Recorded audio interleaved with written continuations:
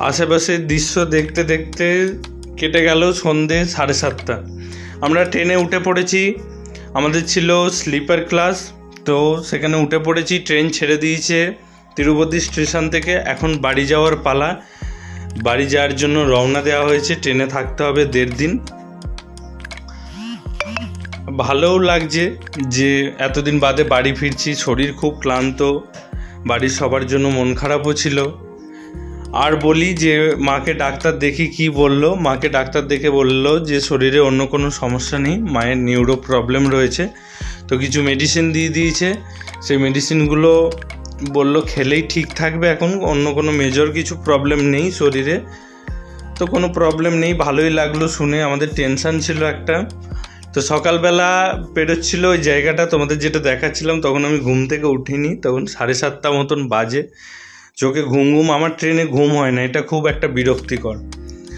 মুখে দাঁত থাত মাজা হয়ে গেছে, মুখ টুক ধোয়া হয়ে গেছে, এখন একটু খাব স্যান্ডউইচ, আর মা এখানে বসে রয়েছে, স্টেশন থেকে নেবে কিনেছিলাম, আর ট্রেনে কিচ্ছু উঠছিল না, এত বিরক্ত লাগছিল। এবার একটু খাওয়া দাওয়ার পালা, সাড়ে এগারোটা বাজে আমার খিদে পেয়ে গেছে। তো ট্রেন থেকেই খাবার অর্ডার করেছিলাম, ট্রেনের খাবার কী ছিল দেখো মেনুতে।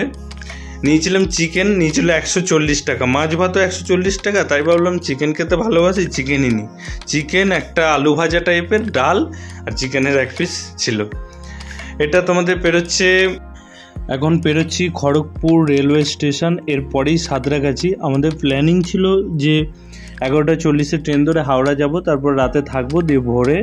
ট্রেন ধরে মগরা নেবে, বাড়ি ফিরবো। কিন্তু শরীর খুব ক্লান্ত ছিল আর ভালো লাগছিল না, তাই সাঁতরাগাছি স্টেশন নেবে।